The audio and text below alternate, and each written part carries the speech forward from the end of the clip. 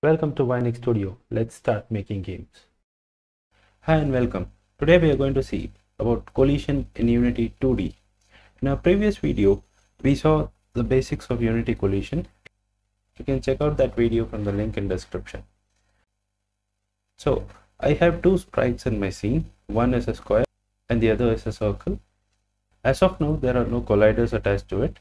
So let's select our square and add a box collider 2D to it and then select the circle and add a circle collider 2D. Remember for any 2D collision you require 2D colliders. So if you add 3D colliders to it then the collision will not be detected. Also for the collision to be detected one of these objects should have a rigid body attached to it.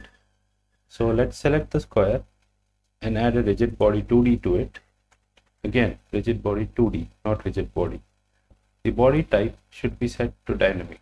If it is set to static or kinematic, then the collision will not be detected. We'll not set the colliders as trigger as of now. So we'll see how it works and then we'll check trigger and see how to detect collision if the collider is checked as trigger.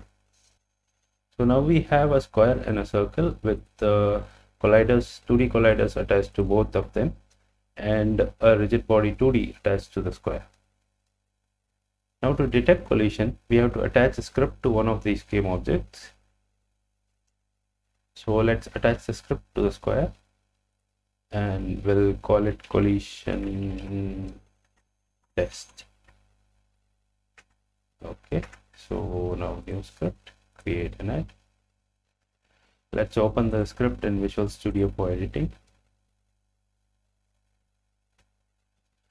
Now, Unity provides some basic function for detecting collision in both 3D and 2D.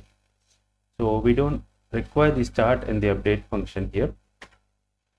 What we need is void on collision enter collision uh, this function takes an input variable of type collision so we'll give collision call. Again it should be on collision enter 2d and it should be collision 2d now this function will be called when the collision actually starts. So we'll debug log dot log non trigger colliders entering collision. Okay so now let's go to unity and see whether this works. Before we test it there's one more thing you should check. It's about the layers. So this both the square and circle are in layer default. So you have to go to edit project settings physics 2d layer collision matrix. If default layer does not collide with default layer this collision will not be detected. So if, if this is unchecked this will not work. So you have to check this. Make sure the layer matrix is checked for whichever layer your object is in. Now let's play the game. Let's open the console window. The square had a rigid body so it fell down so let's select the square and let's say no gravity. So we'll say gravity scale 0 now let's play the game. So the square doesn't fall down.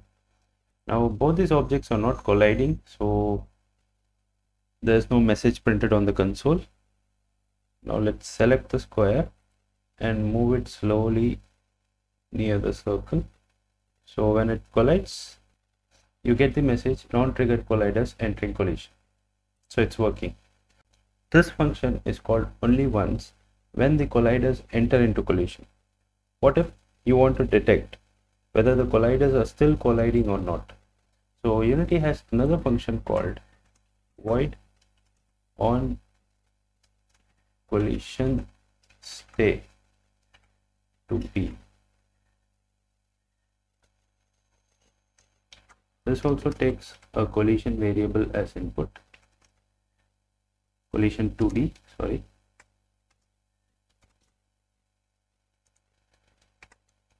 So this will return this function will be called as long as the colliders are in collision state. So let's say debug log and let's say non colliders in collision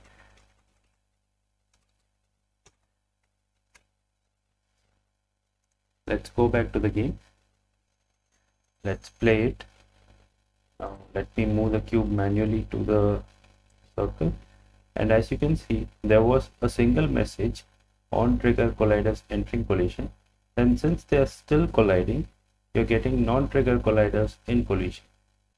And since these colliders are not marked as trigger they won't overlap each other. So as you can see if I leave the square on the circle it basically comes out of it. That's because two physical bodies cannot remain inside each other. So it has to be on the surface. Similarly if you want to detect the exit of a collision that is two objects which are colliding with each other are going to exit. There is another function called on collision exit so let's go and type in void on collision exit 2d this also takes a collision variable as input. Now here we are going to debug dot log. Sorry dot log. And we'll say non trigger colliders exiting collision not let's go back to unity. Play the game. Go to the scene view. Move the square to the circle. So let's see what happened. First non-trigger colliders entered collision. And they stayed in collision. And when it moves back I guess the exit function didn't get called let me go and check the code once okay it should be E in capital so spelling mistakes are major problems in this Unity functions because Unity doesn't auto-complete these functions. You have to be very careful with the spellings and the capital letters. So let's try again.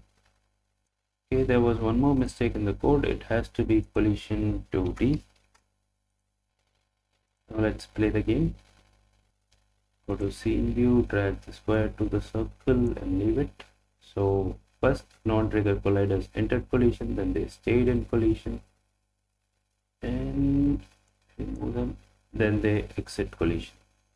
So that's it. You're able to detect when the colliders are entering into collision, when they are staying in collision, and when they are going to exit the collision. So this was about colliders which are not triggers. Say if one of them is a trigger. So let's set the square to be a trigger and let's play the game. If an object is set as trigger it can basically go through the other physical object. So for example I can just drag the square inside the circle and it will stay there. And as you can see none of our collision functions are called. The reason is if you have set one of your colliders as trigger you have to use on trigger enter you have to use on trigger in place of on collision and it will take a collider input rather than the collision input. So let's just copy all these three functions and make new functions and we'll replace on collision with trigger exit and this collision 2d will become collider 2d and remove non from the trigger colliders. So it's trigger colliders. So now we have functions for both trigger and non-trigger objects. Save the code go to unity. Now if I move the square into the circle you can see trigger colliders entered collision. That means the trigger functions have been called. Trigger colliders are staying in collision and if we go out it exits collision if I uncheck trigger and then do the same thing so you can see the non-trigger functions are called so this was the basics of collision in Unity 2D. If you have any other questions, leave it in the comment box below and we'll address them. You can also check out the blog post on Vionix Studio, which has all details on Unity collision. It is a super simple guide and you can refer to it whenever you have problem with collisions. See you in the next tutorial. Thanks for watching. Don't forget to like, subscribe and share.